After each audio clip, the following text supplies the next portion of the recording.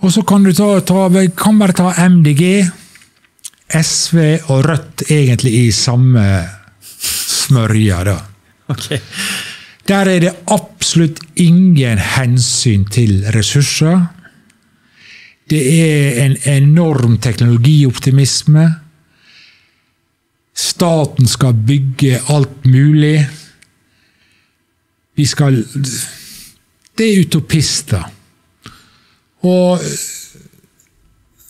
ja, og, og jeg kan i og for seg forstå det eller på et sånn forunderlig vis at jeg, ja, Du kan ta MDG.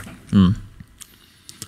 Jeg har til og med begynt å åpne for atomkraft. da. Rett nok ikke i Norge, sånn sett, men det er Men MDG, hva er MDG? Det er noe som kommer ut av fremtiden i våre hender, ikke sant? Du husker jeg sikkert Ja, ja. Og hva sto Jeg husker eh, legekontoret hjemme. En, det kom en tysk lege som var gift med ei dame fra Jæren.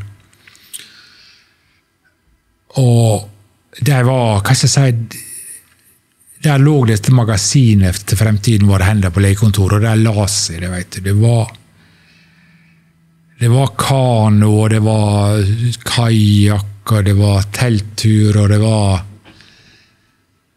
grilling i fjøra av fisk du fanga med hendene, skulle jeg si. Det, er, det var antiforbruk og antimodernitet og antiteknologi. Og der var MDG. Der starta de. Og det er Rasmus Hansson. og ok, Han er nå mot bading i Oslofjorden, det er kanskje ikke helt uh, fremtiden vår ennå, men greit. Men nå er de gått i en helt annen retning. De er blitt teknologipartiet framfor noen. Industrien skal ha nullutslipp innen 2030 takket være CO2-fangst. De skal bygge hurtigtog. Det er en sånn utru hydrogen Det bare Det bare går og går. Havvind Alt dette her det er en sånn ekstrem tro på at vi skal få massivt energi ut av mye mindre. Det, det, det, det, det, ei kommer en endring der. Også når de da har dette korte perspektivet, at utslippene i praksis skal ja, skal nesten bort i løpet av ti år.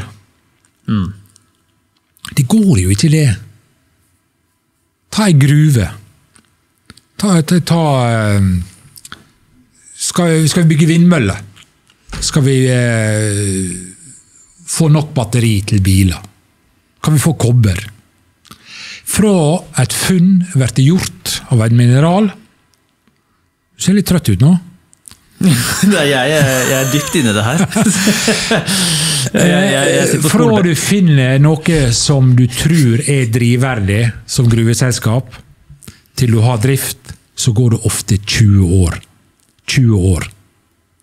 Et oljefelt tar ofte 10-15 år å få i gang. Og så skal verden berges gjennom bruk av en enorm mengde mineral.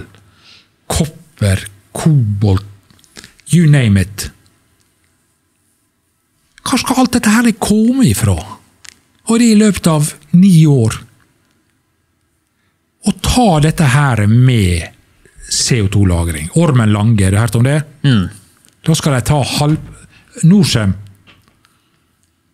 som blir eid av Heidelberg Group, tysk gruppe, det er ikke norsk lenger, sammen med Kværner, som er Røkke, og Equinor, skal ha dette prosjektet.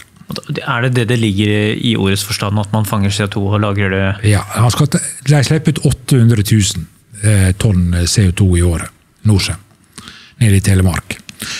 Du skal fange 400 000 av disse tonna hvert år.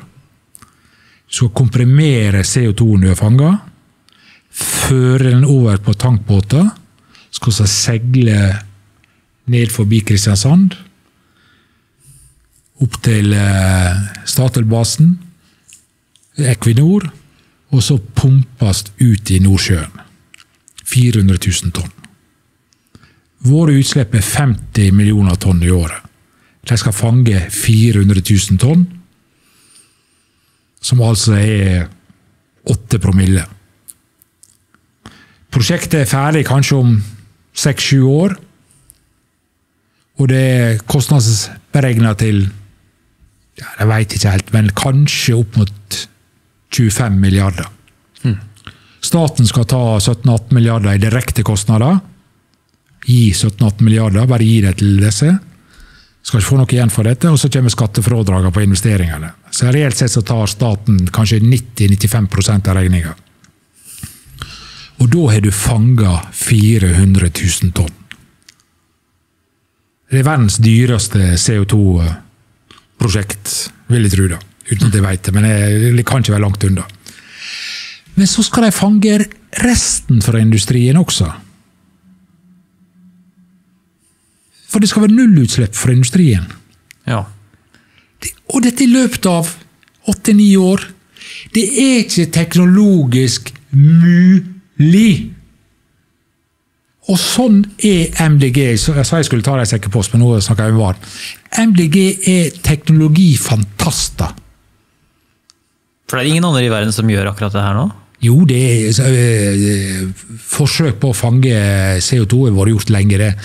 Men skal du bygge opp en kapasitet som skal ta imot dette her eh, Hvis du skal bygge opp en kapasitet som kan ta imot 20% av verdens CO2-utslipp i dag, så må du bygge opp en infrastruktur globalt som er mye større enn dagens olje- og gassindustri. Forstår du? Ja. Ja. For å fange 20 Men Kunne man gjort det over et lengre tidsperspektiv? Altså, kunne man, altså, er det tidsperspektivet som er grovt, eller er det, er det helt urealistisk uansett? Det er helt urealistisk uansett. Det finnes ikke ressurser til dette. Du kan kanskje gjøre det på noen punkt her og der, men det vi reelt sett gjør nå, den norske stat, er at vi gir Norcem, Heidelberg Gruppe i Tyskland, alene til å si at en gitt mengde av sementen de produserer, er CO2-fri. Det gir dem en premium, for det er det viktig rundt i verden å kunne si at du bygger med CO2-fri sement. De får høyere profitt. Kverner, som skal eh, ja, bidra med teknologi, de får jo penger for dette. Happy. Og Equinor får pumpe ut nok CO2 i, i Nordsjøen, og får penger for dette. Dette er rent-seeking, kaller vi dette på fint. da. Det, er- det er garantert eh, penger fra staten som disse mottar. Det samme med dette havvindprosjektet i Hywind Reelt sett så betaler staten eh, 98,5% av kostnadene ved dette. Selv om det er Equinor som liksom står for dette. Gjennom skattefradrag og, og direkte subsidier. Eh, og, da, og der har jo du da klima hva skal jeg si, sånn som Røkke og, og gjengen. og De er jo utrolig dyktige til å karre til seg penger i klimaets navn. Selv om det ikke har en effekt per se. Men sånne prosjekter, det er bare MDG Alle andre partier har det også, men det er ingen som er så teknologioptimistisk som MDG. De er så langt ifra der de starta så det nesten er mulig å tenke seg. Det går ikke. Nei, Du skriver vel det eh, Du oppsummerer det her med her trumfer miljø og klima alt. Eh, Det går ikke an å overby MDG på det grønne området. Ternekast seks. ja. Så oppsummert her. ja, det var vel eh, som profil, da. Ja, Som profil. Ja. Uh, Realistisk? Nei, det fins ikke realistisk, men det har du, akkurat det har du snakka om nå. Ternekast én. Ja. Så, ja, Du tenkte jo å ta en sekkepost med, med Rødt og SV, men det, det ble en MDG-post. Ja.